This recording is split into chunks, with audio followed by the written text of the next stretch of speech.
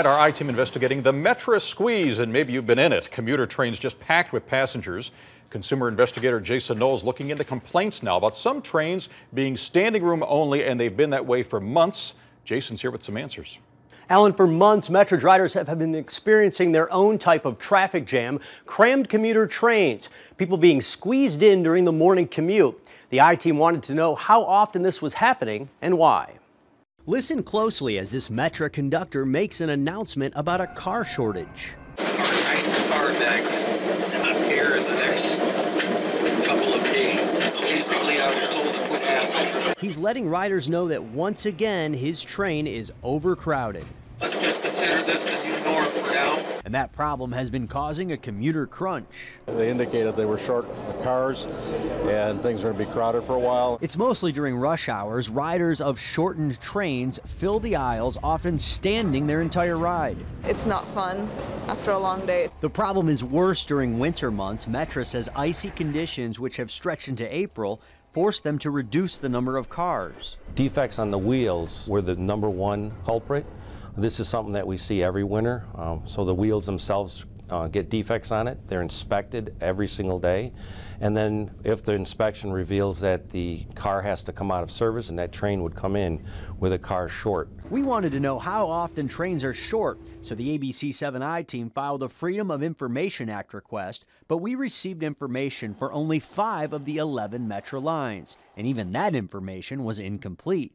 Traveling from Aurora to Union Station, the BNSF Railway has the highest number of riders. In January alone, BNSF trains were short cars a total of 154 times.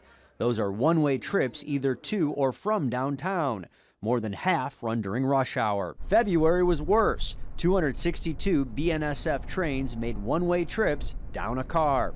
The worst day was February 23rd, when 48 one-way trips were short. Metra says they're short on spare cars. We have a very low spare ratio of, uh, both uh, locomotives and cars the more spares you have, the, the, the, quicker you can pull things out and, and replace them. I'm sure you can understand the frustration from riders. What do you want to say to riders?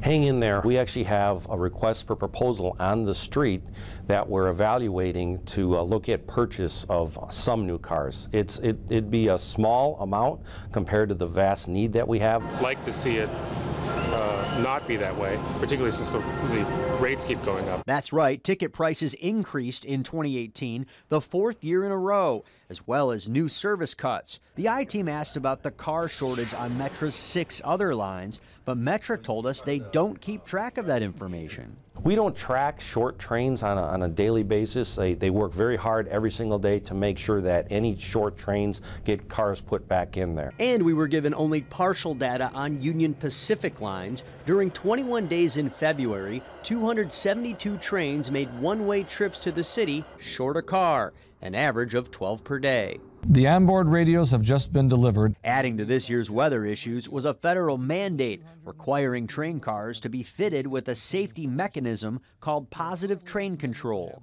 We did purchase some cars. That's going to add another seven to our spares. So a combined somewhere in the 10 to 14 range we should have available for next winter. But Metra riders we talked to say the rails need to be better prepared to keep up with commuters' needs. This is Chicago, you know. since when since when does the weather stop anything here? You know, we keep running. That's what we do. Metra says the safety upgrades are finished, so that should not impact commuters next year. And remember, Metra says those extra dozen cars or so should also help to improve the situation.